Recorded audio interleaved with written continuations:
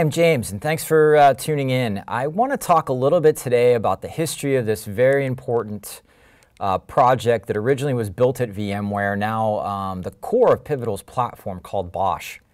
Um, it was started uh, back in 2010, right here in VMware's headquarters, when uh, a couple of really great Google engineers uh, came to VMware to build cloud scale automation. And that's the, that's the backstory to BOSH. We're going to talk a little bit about how some of that Google scale, Google purity, cloud native thinking uh, made BOSH, I think, one of the most underappreciated but powerful uh, pieces of technology that enterprises are using today.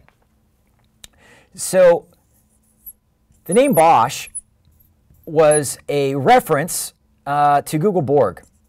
The next two letters in the alphabet after R and G are S and H. And so from the start, the idea was to build the plus plus version of Borg um, for enterprise users and with an idea of doing it on any cloud. Now, what are some of the design thinking that went into that? The first debate that was had was should this kind of declarative automation, this scheduler at the heart of uh, Cloud Foundry and the platform, support any operating system or uh, a more rarefied list of operating systems.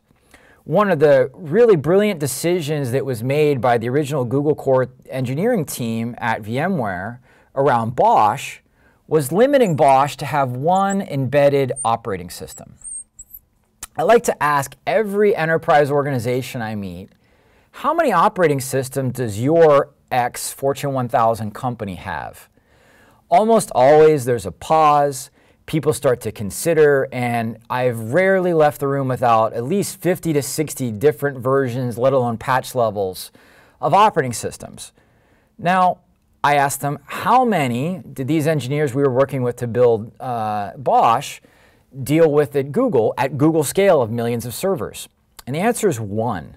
Um, something called the prod image is the only operating system that almost everything at Google runs on.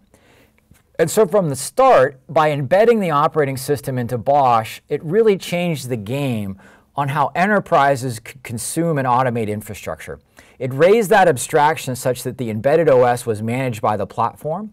And so as you go to patch things, um, that's built in. And a lot of organizations are looking at BOSH purely from an OS automated patching perspective because that's just so painful for them today.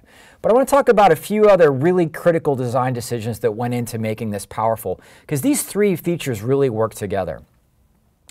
The next decision that was made is that it would have API only infrastructure provisioning. And so in some organizations, a virtual machine is provisioned and then a series of scripts or hand tasks kick off to start configuring that operating system or installing the operating system to exactly what it needs to do, the jobs that it needs to run. In BOSH, that's called the CPI, or the Cloud Provider Interface. And it's a series of 15 APIs that make provisioning virtual machines, disks, and networks common across both VMware infrastructure and APIs and public cloud. Now, why does this matter so much to getting to high scale automation? If you think about how these two features work together now, there's an embedded operating system in every virtual machine that is created by BOSH. So BOSH knows exactly what it's starting with. The second thing it knows that it's created that virtual machine only through an API and it knows exactly how everything is running on it. That virtual machine created by BOSH then has a BOSH agent, which knows every job that needs to run.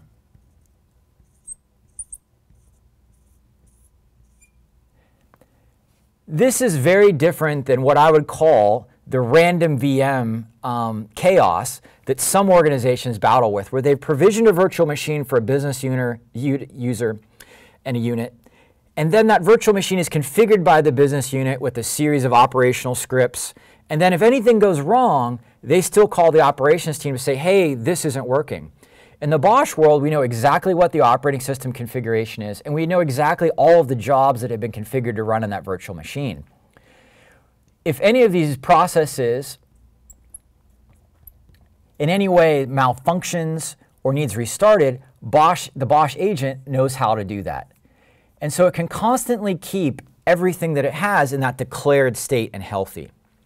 We'll talk a little bit more about that, but that's sort of step two in the magic of BOSH. And again, that's Google scale like thinking and control. When you're at Google scale and a process dies on half of 1% of the systems, that's still a massive amount of workload that you've lost. And so this kind of low level, um, high availability thinking has been designed into BOSH from the start.